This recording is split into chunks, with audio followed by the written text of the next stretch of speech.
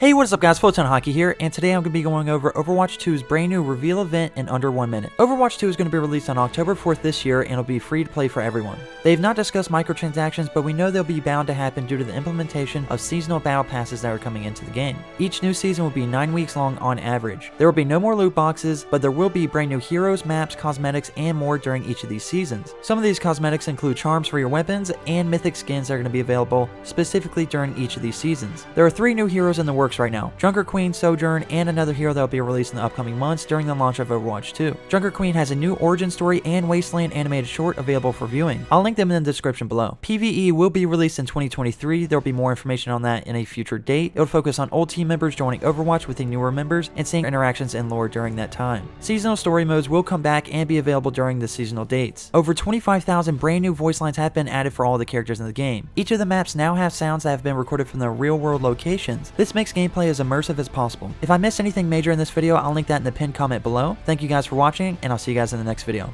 Peace.